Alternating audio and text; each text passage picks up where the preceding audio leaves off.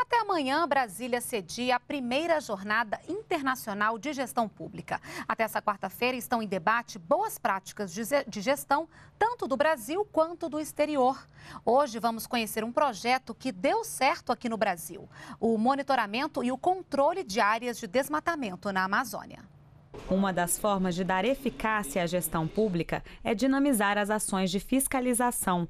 Para conter o desmatamento da Amazônia, por exemplo, o IBAMA tem um centro de monitoramento que recebe do Instituto de Pesquisas Espaciais Aplicadas, o INPE, imagens captadas por satélite. Os servidores do IBAMA acessam todos os dias os dados atualizados no sistema.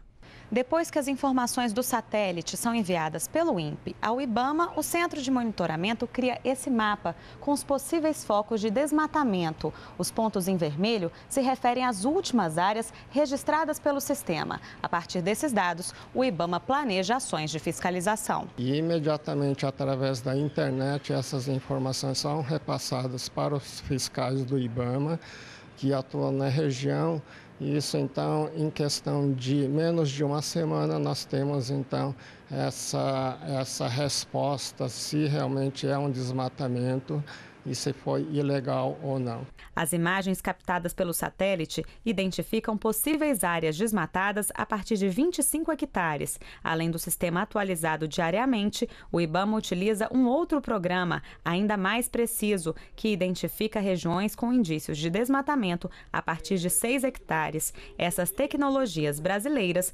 ganharam o interesse de outros países. Nós estamos transferindo essa tecnologia de monitoramento da floresta para outros países da Ásia, da África e da América Latina, no sentido deles também adotarem essa mesma tecnologia baseada em imagem de satélite. Além de ensinar, o Brasil também tem o que aprender com outros países quando o assunto é gestão pública. Nesta semana, em Brasília, acontece a primeira jornada internacional sobre o tema, com palestrantes de vários países. Em vários dos painéis, nós temos, por exemplo, gestão de pessoas na América Latina, em contraponto com o que está sendo feito no Brasil, uh, participação social na gestão pública, e aí tem experiências europeias, experiências australianas, com experiências brasileiras.